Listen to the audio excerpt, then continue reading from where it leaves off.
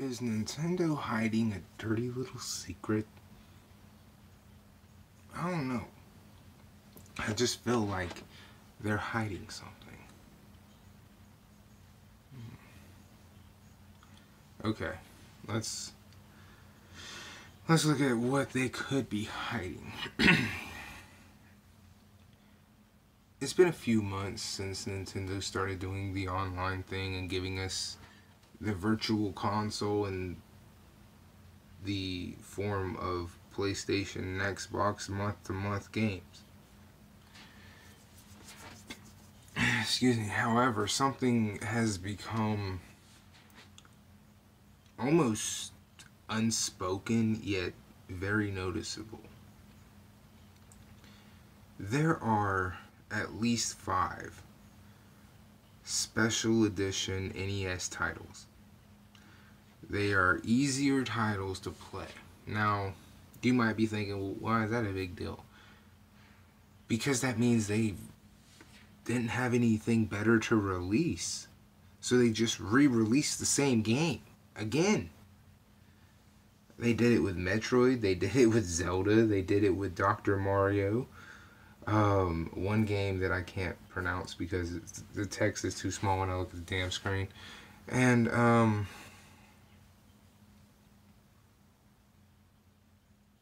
fuck, I can't remember the other game. But my point is this. This past month, we got five games, and two out of the five were special editions. Metroid and Dr. Mario, two games that were previous re- previously released. Now I don't know if that's a thing that's supposed to occur, which is we get like some new titles, but we get re-releases as well, meaning they released the original copy from the original NES, and then they give you games that you've already gotten, but they're special edition, easier modes. Like this is something that's bugging me because I feel like it's a cheap way to go about it. Plus, it's kind of like you're promising five games, but in reality, we're getting three. Why not give us the other two as well? I mean, you gave us Ninja Gaiden, you gave us Wario Woods, you gave us Dr. Mario and Metroid, and one I just don't care none about. I can't. I don't care about it so much that I don't even know the fucking name of it. Okay, but it's like instead of giving us the special edition of fucking Dr. Mario and fucking Metroid, why didn't you give us something else? And like I said, this is something I've noticed not a whole lot of people talking about, meaning I've not seen anyone that I normally watch talk about it. So I just wanted to point that out. Nintendo, what's going on, man? You gave us five games in Chris uh, at Christmas time, pretty much. Basically, December you gave us five games, but only three of them were games that we didn't have already. I'm a little concerned about this.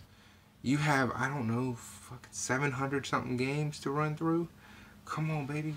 You ain't got to re release the same titles. Fuck out of here. Don't worry about people griping about Nintendo being too difficult.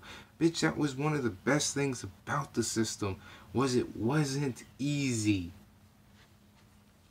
And they need to learn this. I remember a time not too long ago Nintendo was concerned about the play state of their gamers by saying that there was a percentage of their gamers who can who couldn't beat World 1 1 of Mario, the old Mario. They couldn't even make it past the first whatever uh, Goomba.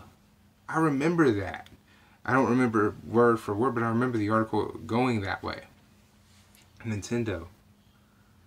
Don't worry about putting out special editions. Not until you get through all seven, eight hundred titles from the original P uh, from the original Nintendo library. Give us content. That's all we want.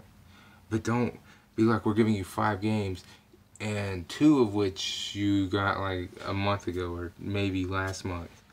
So please don't do that. Don't don't fuck this up. People are already worried about you. I mean, if you're gonna do anything for the special editions, why not give us the sequels instead? Meaning, you give us Metroid, why not give us Super Metroid? You gave us. Where, where's Tetris? Why the fuck? Release Tetris instead of the special editions. Fuck. Man, there's so many good games on the original NES. I don't understand why we need special editions. Please fix this. Please. I, I know I'm probably the only one who's going to say it out loud because I haven't seen anybody else talk about it. But I figured I'd do it. Get the ball going or something. Maybe someone will see this and then they'll talk about it, and someone else will see theirs and they'll talk about it because it needs to be addressed. I don't want to see Nintendo promising, you know, making promises of like five games for one month, but only three of them being games we've never seen, or even worse, being two. I mean, it's that right now this month we got two games that were special edition. Next month we could get three and only see two games that we haven't played yet. Please don't do this because it could become horrifically bad.